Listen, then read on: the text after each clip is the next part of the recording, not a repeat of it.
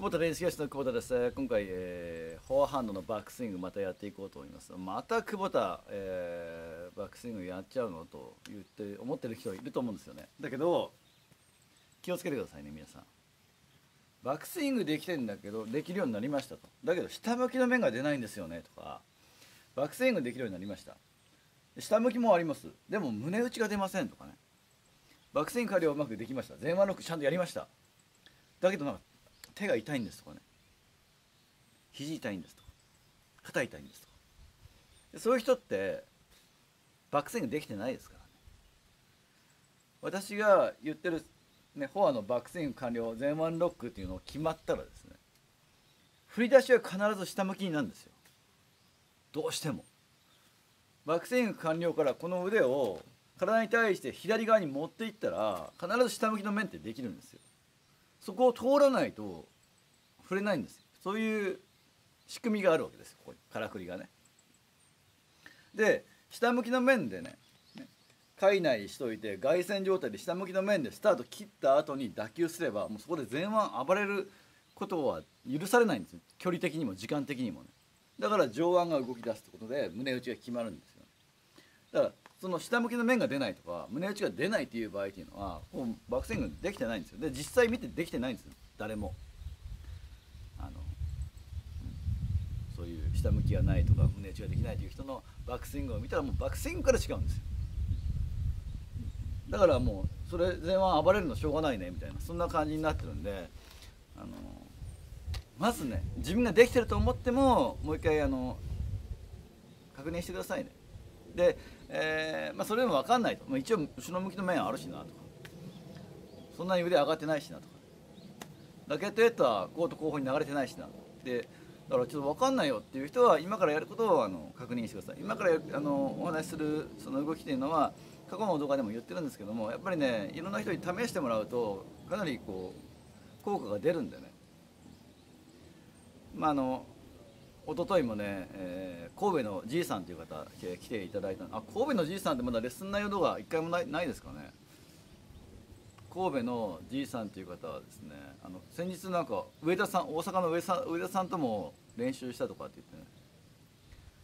どうだったんですかって言ったらいやまあまあそれなりにできたみたいなこと言うからじゃあちょっと動画見せてもらったんです。その上田さんと、えーじいさん練習してるその動画をね。でも全然違うんですそこでね。もうバックスイング全然後ろ向きの面とかないんですよ。下向きなんですよね。引いたら下向き。で前腕ちょっと暴れてるなっていう。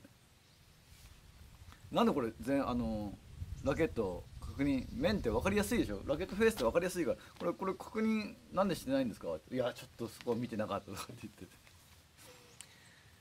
あのテニスっていうスポーツがですねこのこのでっかいものを振り回してしかもこうね面表と裏とある面があってね。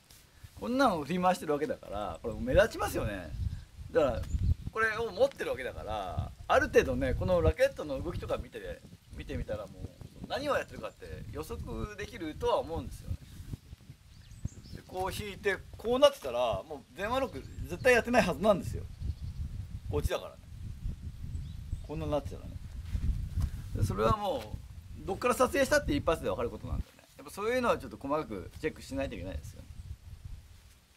まあということででもそんなあのねちょっともうこうこの弾く時もこうガシャガシャこうしてたじいさんも先日のレッスンでまあその今から言うことを、まあ、過去にも何度も言ってるんですけどもそれを試してもらったらもうパーッと安定しましたからね。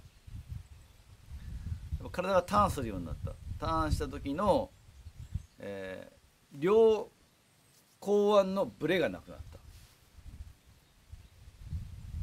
なのでね、まあ、こうレッスンの初めにバックスイング完了のこの外旋外旋界内でしょ。外旋こうやってでこうしたらいいとかって言っててそれもなんかちょっと怪しかったからねなんかね。肩がちょっと出てたりするしね。でなんか手もなんか外旋界内って言ったらこんなこんな手だったんですよ。えそんな指になるかなみたいな。こんな指になるかな。これあのあんまり界内というか背屈が強いやつですよね。こうやった感じですよね。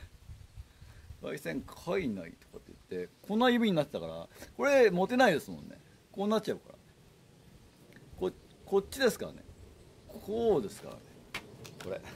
こういう指でがあ外線で海内でやってくれればあ決まったかなって思えるんだけど合一線こ海内ってこうやってたから。これ違うな。私こん絶対こんなにならないからね。こうこう落ちないってことでしょ。それ違う筋があのやっちゃってますよね。海内よりも背屈強めのやつですよね。ひねひねってってこっち側がこうシュッと下に落ちる感じじゃないですよね。そのままこっち行く。こういう感じに近いですよ。ねまあまあそんなのもあってね。まあちょっとそれちょっと遠いかなと思ってそれ言わなかったんですよ。まあそんなことよりも、えー、まあこの辺のスタートのところをやっぱりこう大事なんでね。いつもそこをちょっとじいさんはミスが多かったんでいろいろ癖があったんでね、まあ、そこは、まあ、右手はまあいいかなと。ちょっと他から私は攻めたかったんで。まあ聞くだけ聞いてちょっと流す感じでスルーする感じで でバックスイング。だやっぱりね肘が下がってたり肩がこう狭くなってたりとかいろいろあったんですよね。正面向いた状態からグッてやろうとした時に左の脇をこう行きたい気持ちは分かるんですよ。こうやると速いんですよねターンがね。ターンは速いんですよ。でもこうやるとラケットを後ろに引いてないんですよね。これ本当はこっちですからね。これがこうなった時ってまだ引きが終わってない。ただコートコートを左から右に動かしただけになると。でも後ろには行ってない。こうしたら後ろに行く。これ後ろに行ってない。後ろに行く後ろに行ってないってことなんだよね。ちゃんと内旋しないといけダメですよと。でねこの内旋しといてでそれで持っていかないとと。一回外旋して内旋したらダメですよまあそれもあの、えー、上田さんも同じような感じであのやってたんだよね。ひょっとしたらこう2人が同じミスしてるから2人ともあんまりこう気にしないのかなとかそれもちょっと思ったりもしますね。ボッタテニスやってる人同士で練習した時に1人がこう正しくこうやっててもう1人がこうやったらあの違うねってまあ動画をお互いに見合えば分かりますよね。1人こうやっててもう1人こうしてたらね。あれなんかこう左おかしくない？とかってあの気づくかもしれないですよね。でも2人とももしこうやってたら全然なんかそれ普通普通みたいになってくるから、OK になっちゃってくる。それでおかしくなったのかな。だから気をつけないといけないですよ。ちゃんと私の過去の動画の分を見てね。それのそれと同じようにやってくださいね。高さとか曲がり具合とかね。肩の出この辺大事ですからね。この辺のポジションを見てね。ということで、えーまあ、何をやるかなんですけどもその動き出してやっぱ難しい、ね、ゼロの状態からね。これちゃんとやりますからね今から。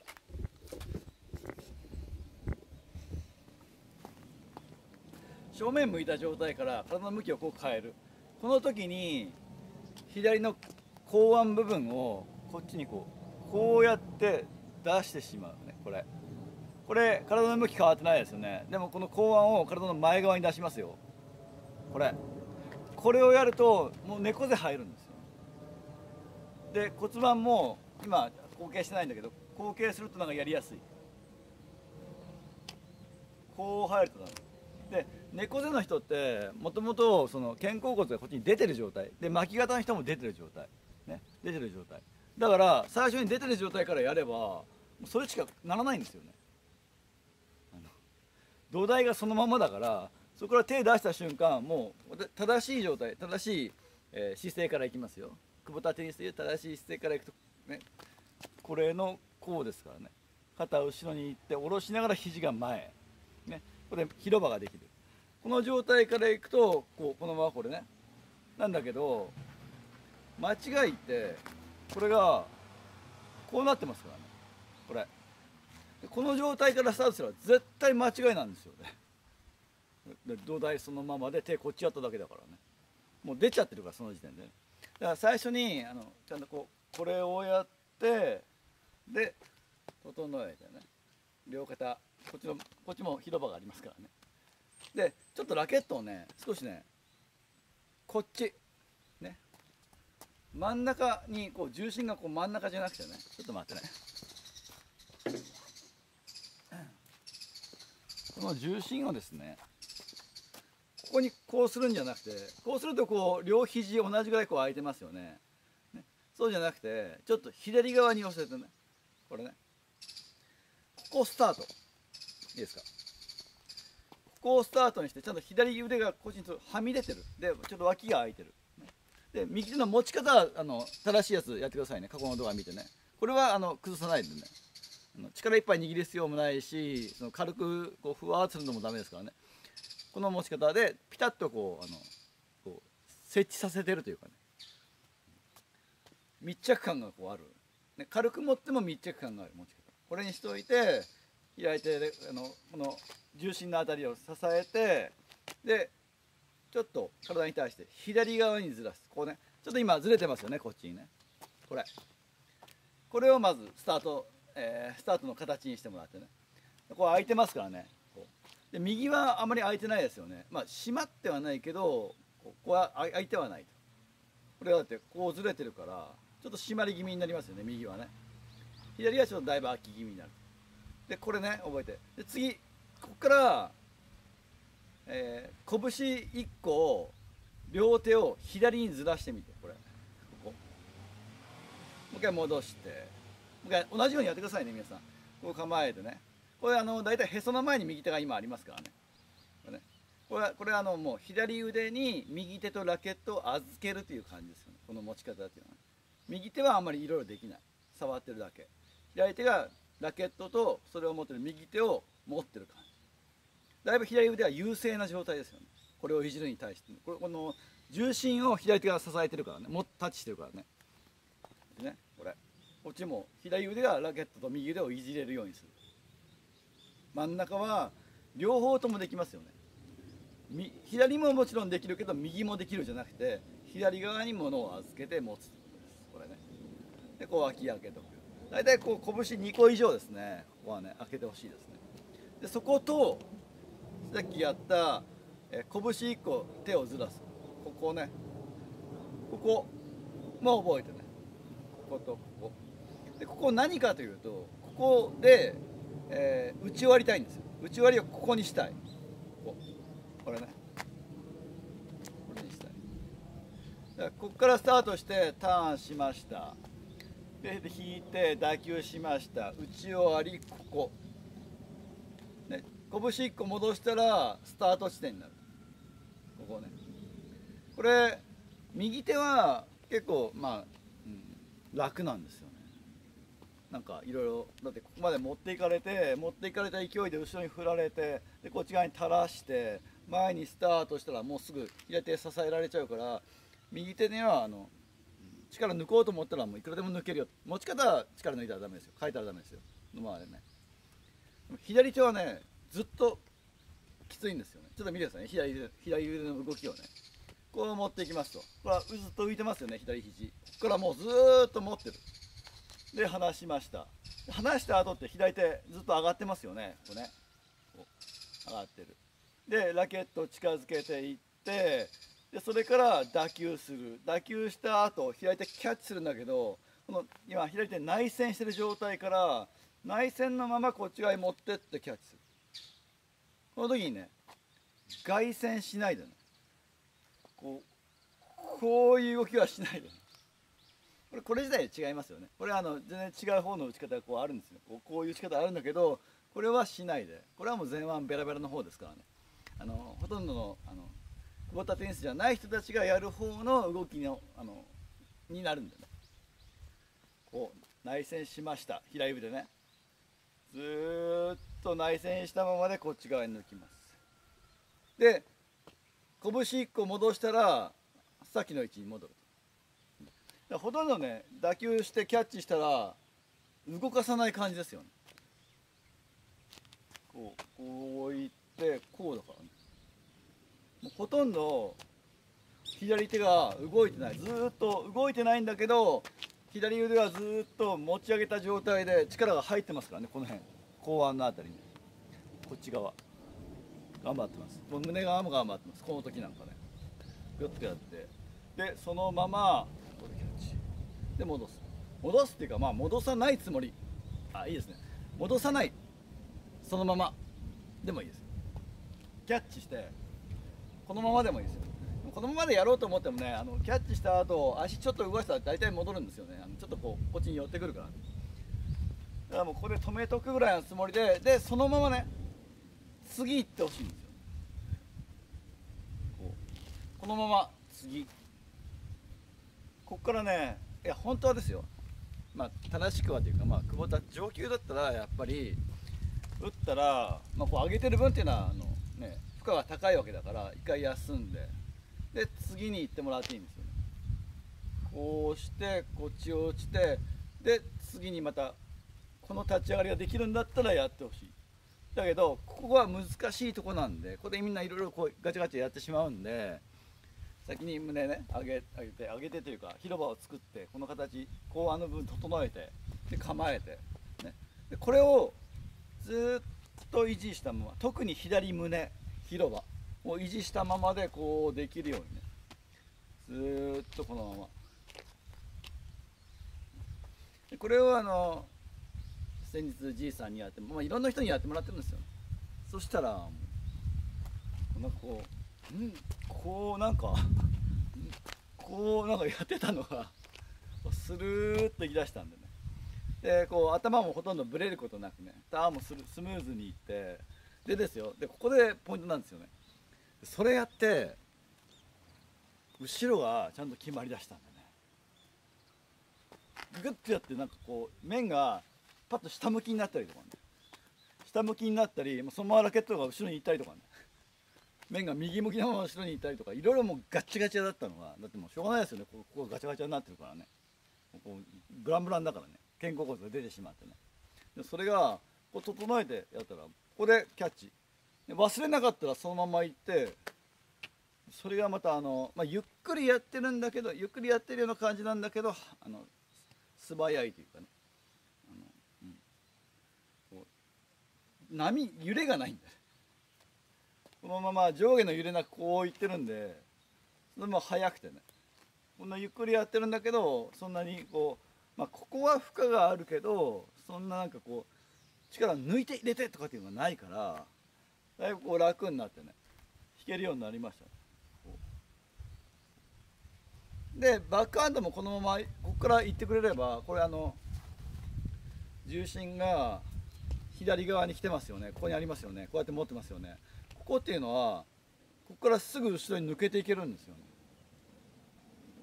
ここにあったらすぐ抜けないですね。自分が邪魔だから自分をどかしてそれから引かないといけないですよね。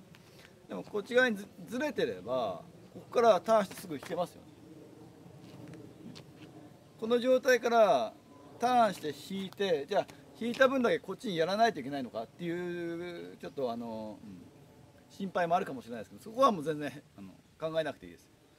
ターンしてここねターンしてこういったらこの分ターンの勢いがあるんでここで止めとこうと思っても後ろに行っちゃうんですよ。これ皆さんやってみて。このここに止めといてこのままターンしようと思うとちょっとこうあ後ろ行っちゃったってなるから。ここだとねこっち行っちゃったって。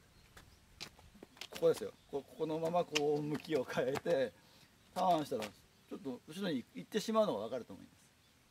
これであの、えー、フォアが良くなっただけではなくてバックもうまくいくようになったっていう人が多いんだよね。あのバックの引き方はこの状態からこういってで両手打ちの人はここからグリップの方開いて落としてね。で打ってもらってもいいし。で片手のスライスの人はこっち。スピンの人はここからこれあのグリップ変えて打ってもらえばいいんで。同じ構えでいいんだね。バックもやりやすくなる。これ大事ですからね。いやフォアはものすごいやりやすくなったけどバックがちょっとできないですっていうそれはダメなんでね。もうそれ全然あの、いい練習にならないんで。全体を考えて練習しないといけないんでね。でバックができなくなったらねバックのこと気になって今度またフォアがおかしくなったりするからそこ気をつけてね。このここからにしといてこのままバックもできると。でフォアも。その代わりバックハンドをまあいろいろ打った後はすぐここに戻す癖をつけないといけないですからね。あとまあ壁石とかでまああのねコートで打ち合いする時なんかも一回球出ししたら球出しとかしない時はねずっとこうやって相手がこう球出そうとした時にこうしといて構えてここから行けばいいんだけど、えー自分が球出しする時なんかね一回こう球出して出したらここっち側でキャッチですからね。出して違うとこからやらないでね。これはあの以前の動画で言ってましたよね。出してすぐこっち行ったらこれ右腕がこう引いてるからダメですよ。ちゃんと左側に来て左腕から持っていくようにっていう動画が過去の動画であるんでそれ見てない方は見てくださいね、まあ、あの割と最近の過去だと思いますが球出したらこっちまで来てここからやってください。でずっと左手の高さをキープ。本当はね本当は左手って動いていって打っていいんですよ。でもこれあの、バックスイング完了までがうまくいかない人は左手は残してですぐキャッチしてバシッとね。すぐここでパンと止めてしまおうとそうやって思った方が前腕も暴れないんだよ。前腕暴れてるともうキャッチとかもう頭からすっ飛ぶんで。キャッチしないここで止めないといけないなと思ったらこの辺からベローとできないからね。そのまま大体行くんだよ。ということで、えー、よろしいでしょうか？これやってほしいな。まああの今の中で一番難しいとこがあるとするならば猫背巻き型の人今の中で一番難しいところがあるとするならばですよ。最初のですよね。最初のスタートの時のこの肩のこうこっちのポジションができるかどうかです両方それを作ってでその構えからいけるかどうか。ここが多分その構えを作るところまでがまず難しいと思います。そこはもうちょっと、うんまあ、こうやって尻立ちとかしてね。尻立ちして椅子に座ってこのポジションを作ってで構えてで構えてこれができたと思ったら立ち上がってでこうこう体をこう動かす練習とかできればいいですけどね。このままでね。じっとしたままでこう動かしてみるとかね。じっとしたままでこう動かしてみる。なんかこう腕をこう腕をこっちに持っていこうするんじゃなくてこのままでターンしてみる。でこっち側にちょっとあってもねあの自然にこの辺まで来ますよ。ターンしたらね。向きが変わったこの勢いでちょっとラケットと両腕が流されちゃうんですよ。だからあんまりねこうこうやってるのにグッてやったらまたこう出てくるから気をつけてこのまま止めたまま行こうと思ったら自然にこうちょっと後ろ側にこの辺に来てしまうんでね。というところであの、うん、もう一回あの練習見直していただければと思います。であのえー、とですね今の、うん、で打ち合いしてる映像がどっかにあったと思うんで後日それはアップロードすると思います。あの止めてで落とさずに次行って。でバックハンドもどっかこのこのまま行ってるのもあったと思うんでねその辺をちょっとこう、えー、切り抜いて動画作ろうかなと思います。でそれとあの打球して止めずに流していってまた次開いて立ち上げちゃんと立ち上げて肩整えてね立ち上げて打つね。グラーンってやっても立ち上げを早くしてるっていうのもあの合わせてね動画作って、えー、公開しようと思っておりますので、まあ、それはそれであの参考にしていただければと思います、えー、今回は以上です。